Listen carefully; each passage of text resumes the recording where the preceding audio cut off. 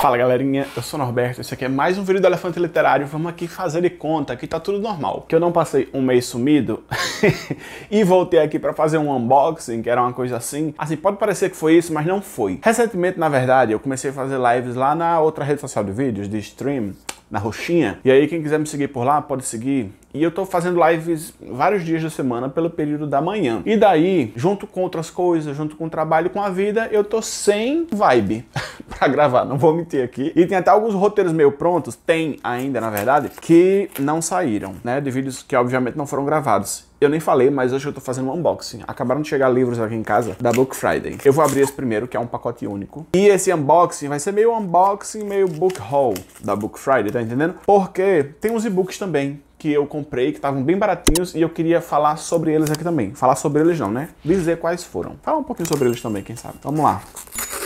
Dessa vez estou organizado de tesoura, a chave de fenda ficou com Deus.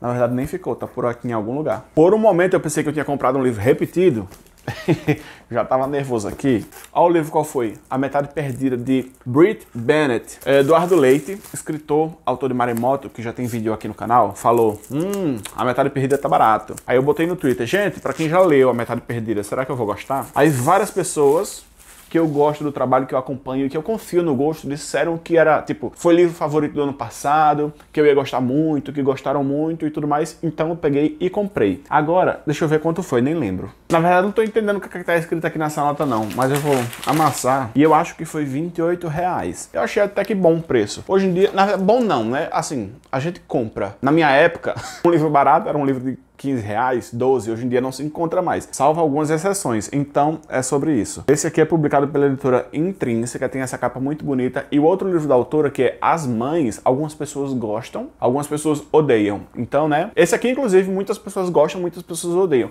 Então é bom isso para eu poder formar minha própria opinião quando eu ler esse livro. Quando? Não sei. Agora, deixa eu abrir aqui porque eu vou ver aqui, vou dizer quais foram os e-books que eu adquiri nesses dias de Book Friday certo? Um pouco antes, na verdade, da Book Friday, teve Amigo Imaginário por 3 reais, 7 reais, uma coisa assim. Aí eu peguei, né? Um Estranho Sonhador também tava barato, comprei. Aí na Book Friday tinha um, uma opção de pegar um livro, um e-book de graça, entre umas opções lá que tinha na lista. Entre esses tinha, deixa eu ver, História é Tudo Que Me Deixou, de Adam Silveira. E tinha um de Liane Moriarty, que é Até Que a Culpa Nos Separe. Eu peguei os dois. O de Adam Silveira no Kindle Unlimited, que ainda tá, inclusive se quiser assinar, tem link aqui no box de descrição para você assinar, pelo meu link e me ajudar. Eu peguei comprei, né, de graça esse até que a culpa nos separe de Liane Moriarty, que eu já li outro livro dela que eu gostei muito, que é o Pequenas Grandes Mentiras. Daí, comprei também, que tava barato, O Circo da Noite, que inclusive já li maravilhoso. Comprei a Musa dos Pesadelos, que tava 7 reais também, porque eu li o quê? Um Estranho Sonhador, e foi tipo assim, um grande surto, li em live, terminei em live também, muito bom, amei. Aí comprei, já tinha comprado na verdade na pré-venda, chegou A Lagoa, de Pablo Praxedes, e outros livros que eu comprei, são muitos livros, mais cinco e-books. Dora Mar e a Odisseia, que é o mais novo de Tamar Vieira Júnior, que escreveu Torto Arado, que eu também tenho em e-book. Cidadão de Segunda Classe, de Bush e Mecheta, publicado pela Dublinense, a versão digital também. Leopardo Negro, Lobo Vermelho. Agora esse aqui foi um surto grande, porque eu já tinha botado na minha wishlist umas três ou quatro vezes. O livro sumia e eu não sabia o que é estava acontecendo. A Amazon me odeia ou de que sim. Mas aí eu comprei o e-book porque comprei e chegou aqui na minha casa. Na minha casa não, no meu Kindle, né? Porque o físico aparentemente ficou com Deus. Não sei se alguém comprou e mandou pro endereço da pessoa em vez de mandar pro meu endereço. Queria mandar de presente, mas ficou de presente pra pessoa. Aí, Sete Dias para Acontecer, que é o livro de Bárbara Sá, do canal Segredos Entre Amigas. E Crônica do Pássaro de Corda, de Haruki Murakami. Pronto. Esses foram os e-books. Só dei uma passeada por eles, né? Porque normalmente a gente não faz muito e-book haul por aqui. Aí chegou esse outro pacote que é um pouco maior. E aqui eu tenho quatro, quatro ou cinco livros, nem sei mais. O medo de me cortar, eu fazendo assim, ó, com a tesoura em minha direção. O perigo. Não abram caixa assim em casa.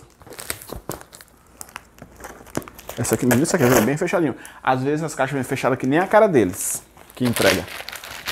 Tudo esculambado. Mas dessa vez veio bom, veio bem fechadinho.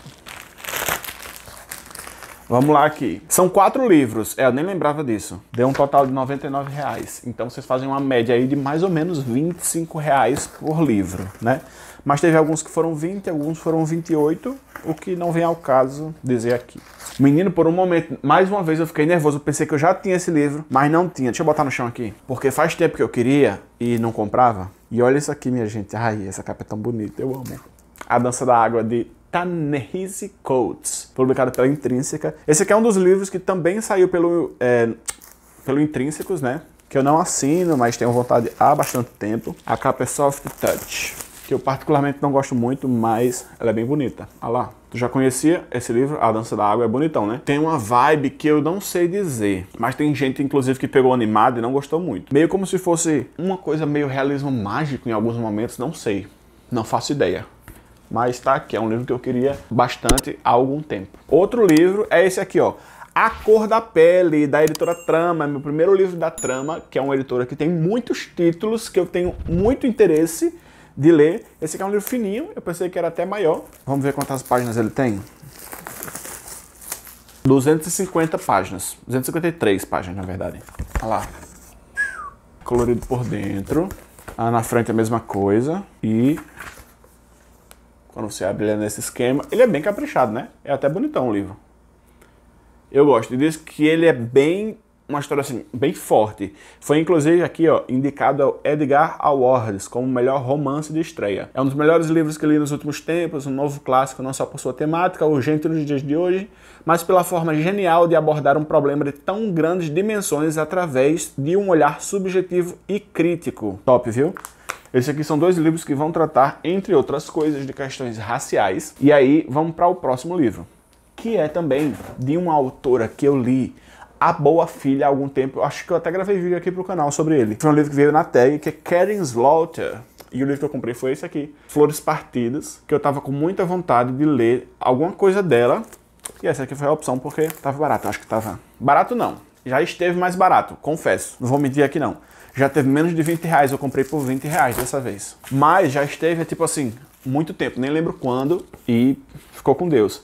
O que eu gosto dele é porque ele tem essa capa, mas é uma jacket. Se eu conseguir tirar, eu mostro. E quando você abre, ela é só olhinho fechado, olhinho aberto. Olhinho fechado, olhinho aberto. Amaram? Eu achei massa. Inclusive tem até um sangue escorrendo do olho, vale meu Deus. Mas eu tô doido pra ler, tô doido pra ler. Eu gosto muito de thriller. Pra quem já acompanha aqui o canal há um tempo sabe que eu gosto muito de thriller, então tô com muita vontade de ler. Apesar dessas letras esmagadas dentro da página. Vamos pra frente. Tem blurb aqui de Gillian Flynn, autora de Garota Exemplar, dizendo que não perde nada dela, não sei o que, não sei o que. O último livro desse pacote, desse pacote não, de todos os pacotes, o último livro desse vídeo, né? É o Menino Como é Pequenininho. Vale, meu Deus, tamanho da minha mão. O Reformatório Nickel, de Colson Whitehead. Ele é o autor de The Underground Railroad. Meu inglês ótimo. Ah lá, vai focar assim ou não? Hum, acho que não. Mas aí, ah, aqui ó, focou um pouco, eu acho. Essa é a capa. O Reformatório Nickel é teoricamente um lugar que os jovens vão para tipo, tipo tomar um rumo na vida, Tipo assim, uma coisa direitinha, uma escola desse jeito. Deixa eu só confirmar aqui. Diz oficialmente ser, não, promover o desenvolvimento físico, intelectual e moral para que seus internos se tornem homens honrados e honestos. Destar, na verdade, né, que é uma grotesca câmara de horrores onde os sádicos funcionários batem nos estudantes e abusam sexualmente deles, onde oficiais corruptos roubam comida e suprimentos e onde qualquer menino que se rebele corre o risco de desaparecer. Diga aí, esse aqui é um livro que eu tô com muita, muita vontade de ler. Ele também vai abordar questões raciais aqui e ele parece ser muito mais profundo do que isso. Só por essa partezinha que eu li aqui dá para perceber quão impactante deve ser essa leitura. Tô assim, com a expectativa lá em cima, porque eu tô com muita vontade de ler. Todas as vezes eu tô com muita vontade de ler. Se eu não tivesse com vontade, eu nem comprava, né? Se bem que tem livro que a gente compra pra ter. não é pra ler. Ai, como é bom gravar vídeo, né? É ótimo ser booktuber. Ah lá, esses foram os livros físicos que vieram e, ai meu Deus, e os e-books que eu falei, né? Aí, fora esses, tem mais algum? Não, os da Book Friday foram só esses mesmo. Se alguém comprou com o meu link, muito obrigado. Se você não comprou com o meu link, mas vai comprar na próxima promoção, muito obrigado também. Já agradeço de antemão. E aqui embaixo, no box de descrição, tem links por onde você pode comprar livros, não só da Amazon, mas do Submarino e da Americanas também. E vai ajudar demais, como sempre, já sabe, né? As redes sociais passaram aí ao longo do vídeo em algum momento na página. Fica ligado em tudo que tá rolando aqui no Elefante Literário. E é isso, demorei, mas voltei. Aqui tá um vídeo para vocês inscritos desse canal, né? Que por vezes fica as moscas, mas eu tô por aqui. Inclusive, não deixe de seguir o Elefante Literário no Instagram, no Twitter e lá no Twitch também, sabe? Onde tem lives de manhã, sabe? Eu falei o nome, mas tem nadinha também. Muito obrigado por ter assistido esse vídeo até aqui. A gente se vê já já aqui no Elefante Literário. Valeu!